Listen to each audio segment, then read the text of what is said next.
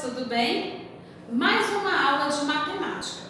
Mas a nossa aula hoje vai ser um pouquinho diferente do costume que a gente está tendo, né? No livro. Mas antes disso, vamos relembrar qual foram, né? Quais foram os dois últimos conteúdos que nós estamos trabalhando, porque um depende do outro, ok? Na semana passada, nós falamos sobre multiplicações, né? Multiplicação que é o símbolo do X, certo?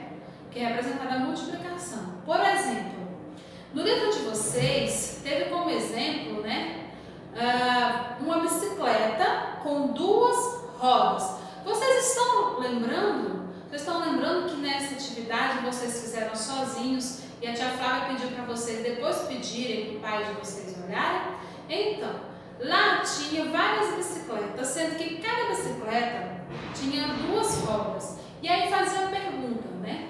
Quantas rodas seriam necessárias para cada quantidade de bicicletas? E aí vocês colocaram o resultado. Esta semana a tia Flávia fez alguns problemas matemáticos envolvendo tanto a multiplicação como a divisão.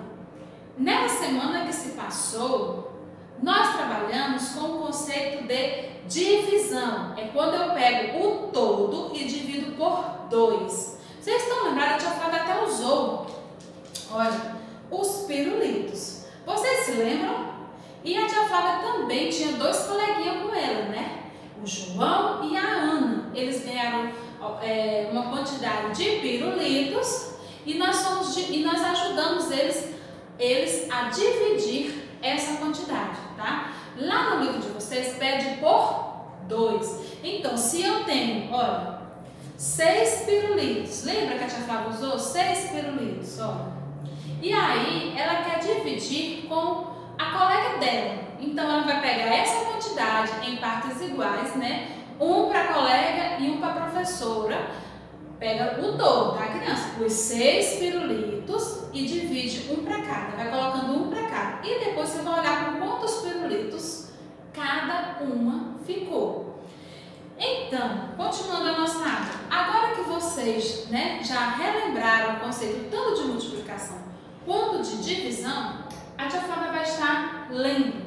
Essa atividade aqui vocês vão copiar depois no caderno de matemática, ou na matéria, tá?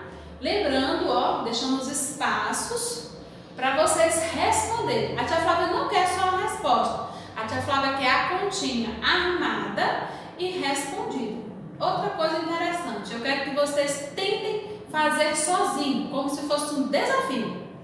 Depois que vocês responderem, vocês vão dar para o pai de vocês conferir se está certo ou se está errado os problemas de vocês, né? As respostas. Terminou, você vai tirar uma foto e vai mandar para a tia Flávia, ok? Então, eu vou ler para vocês atividade de matemática no caderno, tá? Façam o cabeçalho, soltem uma linha e depois comecem a escrever. Ana foi a uma loja de brinquedos e lá ela comprou duas cartelas, olha só, de adesivos com oito adesivos em cada. Ela comprou duas cartelas, olha, e cada cartela tinha oito adesivos. Então, você já imagina se é de vezes ou se é de divisão. Prestem bastante atenção. Quantos adesivos Ana comprou ao todo? Duas cartelas e em cada cartela tem oito adesivos. Ó, só tem três linhas para responder, armar a continha e responder, tá bom? Dois, Beto ganhou ingressos para assistir a uma peça de teatro. Ele observou que tinha duas fileiras em, com dez cadeiras. Quantas cadeiras tinham no teatro? Ele ganhou o ingresso. Chegando lá, ele percebeu, né? Ele observou que tinha duas fileiras com dez cadeiras em cada. Quantas cadeiras tinha ao todo no teatro? Prestaram bastante atenção? Aqui agora, número 3. Doceira é aquela profissional que, fala, faz vários tipos de doce, tá? Fez 14 brigadeiros e quer dividir em duas formas. Quantos brigadeiros vão ficar em cada forma? Vocês prestaram atenção? Ela fez 14 e quer dividir em duas formas diferentes. Prestem bastante atenção. E na hora de responder vocês vão ter facilidade, tá bom? Soltem três linhas. Por que, tia Flávia? Para você armar a continha e depois colocar o resultado. Responder. Preste atenção. Agora, número 4. Em um parque de diversão haviam quatro crianças e dois carrinhos de bate-bate. Olha, quatro crianças e dois carrinhos de bate-bate. Quantas crianças caberá em cada carrinho?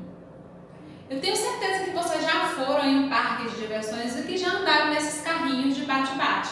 E sabemos quantas pessoas, né, quantas crianças cabem em cada carrinho. Então, vocês vão pegar o total de crianças, dividir pelo total de carrinhos, tá bom? Prestem atenção.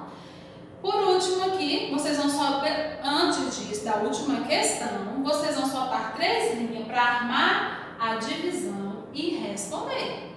Agora, o número 5, responda. Prestem atenção, vocês têm que armar desse jeito aqui, ó. Cada número vai ficar em uma linha e passa o traço aqui embaixo para eu saber qual é o valor. Olha só. Letra A, duas vezes o número 5. Eu tenho 5, 5. Duas vezes o número 5. Se eu juntar as quantidades, quanto que vai dar? Duas vezes o 7, duas vezes o 9 e duas vezes o 3. Terminei a minha atividade, professora? Peço para o meu pai dar uma olhada, tira uma foto né, e manda no PV da tia Flávia. Crianças, essa foi a nossa aula de matemática. Qualquer dificuldade, vocês, olha, tirem as dúvidas, perguntem no grupo que a tia Flávia vai estar à disposição para ajudar vocês. Copiem com a letra legível, que eu consiga ler.